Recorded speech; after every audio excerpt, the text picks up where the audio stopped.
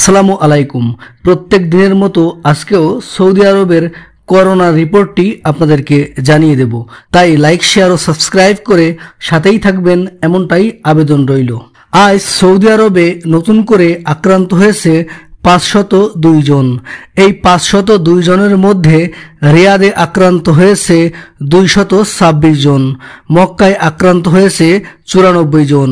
পূর্ব প্রদেশে আক্রান্ত হয়েছে ছিয়াশি জন আল কাসিমে আক্রান্ত হয়েছে পঁচিশ জন, মদিনায় আক্রান্ত হয়েছে তেইশ জন।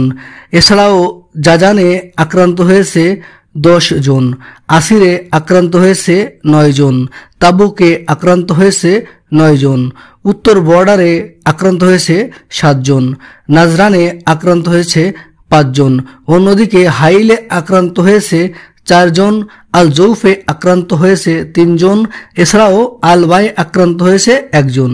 অন্যদিকে, আজ সৌদি আরবে নতুন করে সুস্থ হয়েছে তিনশত পঞ্চান্ন জন।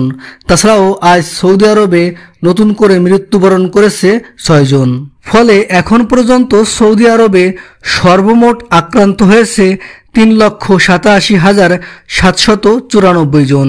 অন্যদিকে এখন পর্যন্ত সৌদি আরবে সর্বমোট সুস্থ হয়েছে তিন লক্ষ ছিয়াত্তর হাজার পাঁচশত আটান্ন জন। তাছাড়াও এখন পর্যন্ত সৌদি আরবে সর্বমোট মৃত্যুবরণ করেছে ছয় হাজার ছয়শত তেতাল্লিশ জন।